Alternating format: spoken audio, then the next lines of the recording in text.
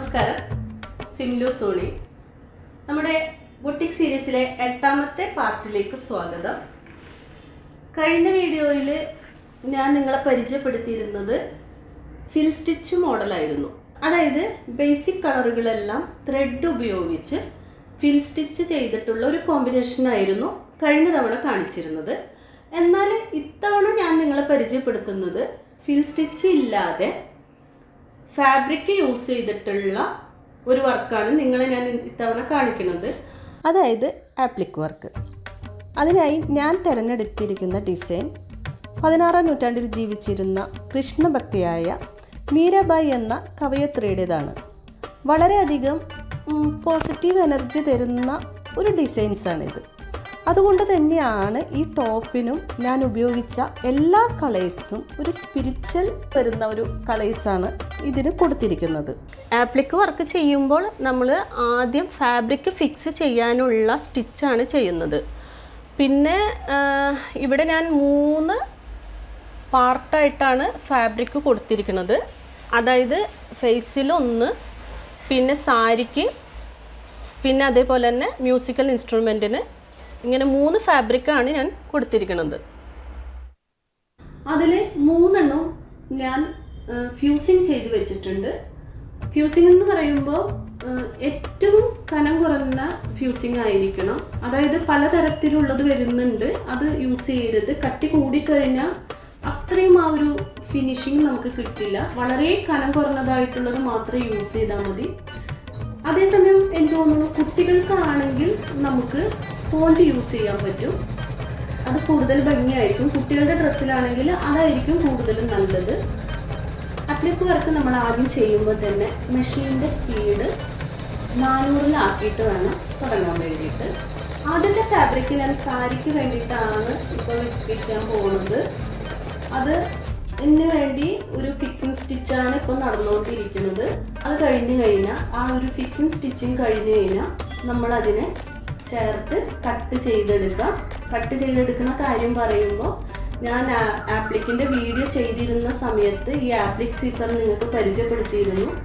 അത് അങ്ങനത്തെ ഒരു സിസർ വെച്ച് നിങ്ങൾ ചെയ്യുകയാണെങ്കിൽ അതായിരിക്കും കൂടുതലും നല്ലത്. കാരണം നമുക്ക് നന്നായിട്ട് ചേർത്ത് കട്ട് ചെയ്താലാണ് അടുത്ത ആ വരുന്ന ഒരു ഫില്ലിംഗ് സ്റ്റിച്ചിന്റെ ഉള്ളിലേക്ക് ശരിക്കും നമ്മൾ ഈ കട്ട് ചെയ്ത് പോകുന്ന ഭാഗങ്ങളെല്ലാം ഫിക്സ് ആകുകയുള്ളൂ അതുകൊണ്ട് ഈ സിസർ നിങ്ങൾ പരമാവധി ഇങ്ങനെയുള്ള സിസേഴ്സ് യൂസ് ചെയ്യാൻ വേണ്ടി നോക്കാം. ഒരു കാരണവശാലും ആപ്ലിക് വർക്ക് ചെയ്യുമ്പോൾ കട്ട് ചെയ്യുന്ന സമയത്ത് ഫ്രെയിമിൽ നിന്ന് ഈ ഫാബ്രിക് ഒരിക്കലും നീങ്ങിപ്പോകാൻ ചാൻസ് ഇല്ലാത്ത രീതിയിലായിരിക്കണം നിങ്ങളത് കട്ട് ചെയ്തെടുക്കുമ്പോൾ ഇതിനെക്കുറിച്ചുള്ള ഡീറ്റെയിൽസ് ഞാൻ ആദ്യത്തെ വീഡിയോയിൽ അതായത് നമ്മുടെ ആപ്ലിക് വർക്കിന്റെ വീഡിയോ കാണാത്തവരുണ്ടെങ്കിൽ അതും കൂടി ഒന്ന് കാണുക. അതിൽ ഡീറ്റെയിൽസ് ആയിട്ട് നമ്മളെല്ലാം പറഞ്ഞിട്ടുണ്ട്. അപ്പോൾ അത് വളരെയധികം നിങ്ങൾ ശ്രദ്ധിച്ചിട്ട് വേണം ചെയ്യാൻ വേണ്ടിയിട്ട്. രണ്ടാമത്തെ പാർട്ട് വരുന്നത് നമുക്ക് ഫേസ് ആണ്.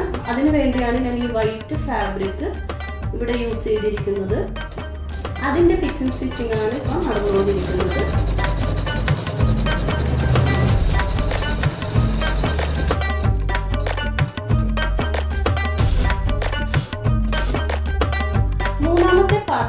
മ്യൂസിക്കൽ ഇൻസ്ട്രുമെന്റ് ആണ്. അതിന്റെ ഫാബ്രിക്കാണ് ഇപ്പോൾ ഞാനിവിടെ വെച്ചിരിക്കുന്നത്. അതും നമ്മളിവിടെ ഫിക്സ് ചെയ്തിരിക്കുന്നു. ഇത്രയും കൂടി ചെയ്തു വരുമ്പോൾ നമ്മൾ ചെയ്യേണ്ട പാർട്ട് കഴിഞ്ഞു. ബാക്കിയെല്ലാം മെഷീൻ ചെയ്യുന്ന കാര്യങ്ങളാണ്. നമ്മൾ നൂൽ മാത്രം മാറ്റി കൊടുത്താൽ മതി.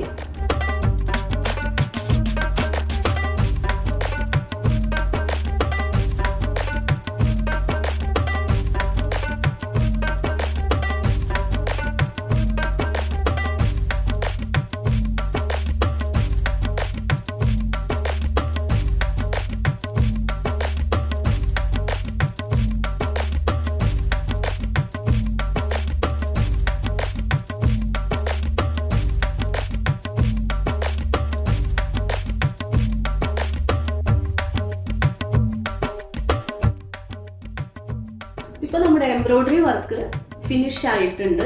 അതായത് ഞാനിതൊരു ടോപ്പ് അതായത് ഒരു സിമ്പിൾ നെക്കോട് കൂടിയിട്ടുള്ള ഒരു ടോപ്പാണ് ഞാൻ ഉദ്ദേശിച്ചത്. അത് അടുത്തതായിട്ട് ഞാൻ സ്റ്റിച്ചിങ്ങിലേക്ക് പോവാണ്.